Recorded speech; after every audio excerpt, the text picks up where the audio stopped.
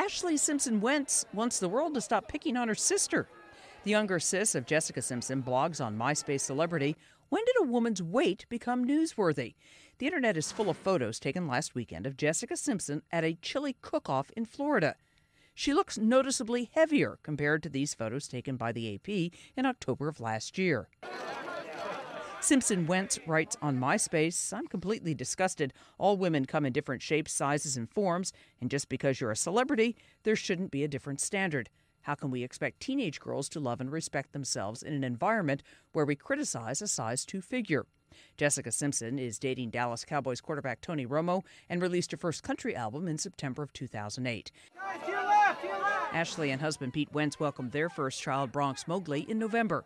Diane Kepley, The Associated Press.